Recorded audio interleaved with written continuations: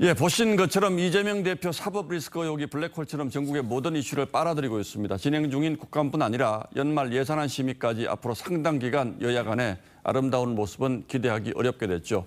이번 수사와 앞으로 있을 정치 일정의 함수 관계까지 다각도로 짚어보겠습니다. 자, 김태훈 기자, 어서 오십시오.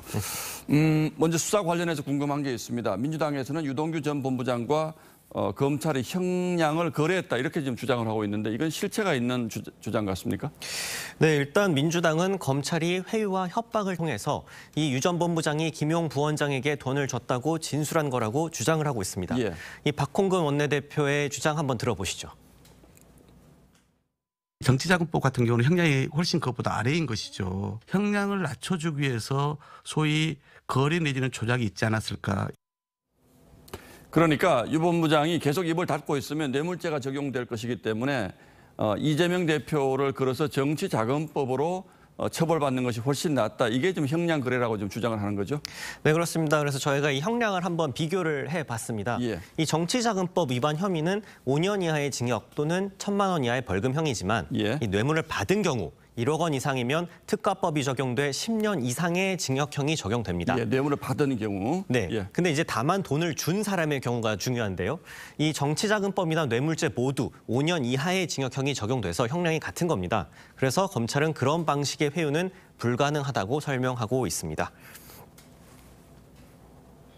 본인의 표현에 의하더라도 극단적인 선택까지 시도했던 사람입니다. 그런데 그 사람에 대해서 회유를 한다. 그게 있을 수가 있겠습니까? 네, 실제로 저희가 취재를 해보니 대장동 핵심 인사인 남욱, 정민용 변호사와 유동규 전 본부장은 모두 각자의 사정에 따라서 검찰에 자백을 하고 있고요. 예. 이 검찰의 증거 확보에도 적극적으로 협조하고 있는 것으로 아, 파악되고 있습니다. 자, 지금 김 기자가 각자의 사정에 따라서라고 얘기를 했는데 그 각자의 사정이라는 건 뭘까요? 네, 일단 이 자백을 할 경우에 법원에서 좀 감경을 받을 수 있는 사유가 될 수 있고요. 예. 이 특히 유 전 본부장의 경우 이 현재 개인적인 경제 사정이 좋지 않아 버티지 못하고 좀 자백을 하고 있는 것으로 알려지고 있습니다. 그런데 이 핵심 인물 들이 과거에는 어, 나는 이재명 대표와는 관계가 없다 이렇게 일관되게 부인해 오지 않았습니까? 네, 맞습니다. 그래서 법조계에서는 이들의 자백을 두고 이 법 그 죄수의 딜레마가 좀 적용하고 있는 것이 아니냐 이렇게 이해하고 있는 시각들도 있습니다. 예. 이 대장동 의혹에 등장하는 주요 인사들은 크게 두 부류로 분류를 할 수 있는데요.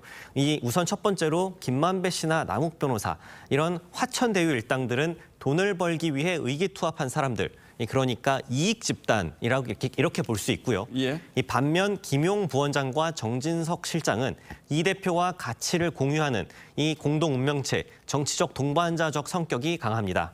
이 처음엔 이익 집단이 이익 집단과 이 정치적 동반자 모두 공동의 이익을 위해 모르쇠 전략을 펼쳤지만 이 구속 기간이 길어지면서 이 이익 집단들 쪽에서 이 경쟁적으로 형량을 줄이기 위해 진술을 하고 있다는 분석이 나오고 있습니다. 그러니까 이익 집단들 입장에서 보면 어, 자기들 피해만 예상되는 이런 상황을 더 이상 방치하기 힘들어졌다 이제 이런 거군요. 어쨌든 그 속사정이야 뭐 어찌 됐든 어, 정치적 파장이 만만치 않은데 민주당 내 분위기가 지금 급격하게 변하고 있다고요.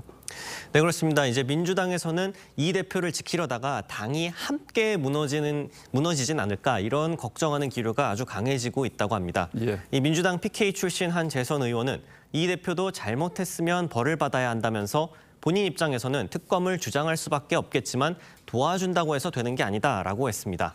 결국엔 어, 이재명 대표가 적어도 내년 중반 정도 이상까지 대표 자리를 유지하게 되면 총선 공천을 할 수 있는 이런 상황이 되는데 어, 그래서 민주당 내에서 빨리 거치고 결단해야 된다 이런 목소리까지 나오고 있다면서요. 네, 맞습니다. 이 아직은 비리 의혹 수사가 이 초반이고 이 대표 본인으로 옮겨붙지는 않았기 때문에 이 조직적인 반발 움직임은 아직 없습니다. 예. 하지만 이 대표에 대한 수사가 이 시간 문제라는 인식이 팽배하고요. 이 오늘 나온 갤럽 여론조사를 보면 이번 수사의 파장이 어느 정도인지 좀 가늠해 볼 수 있습니다. 이 민주당 지지율이 지난주보다 5%포인트 급락해서 국민의힘 지지율과 같은 33%포인트가 됐습니다. 예. 이 특히 수도권과 PK 지역에서 지역에서도 3에서 5% 포인트가 빠져 위기감은 더 커지고 있는 분위기입니다. 예, 이재명 대표가 이런 분이 이런 상황에 대한 경험이 워낙 많고 내공이 뛰어나긴 합니다만 정치가 냉혹한 거니까 앞으로 어, 그렇게 쉽지는 않을 겁니다 상황이. 예, 김태훈 기자 잘 들었습니다.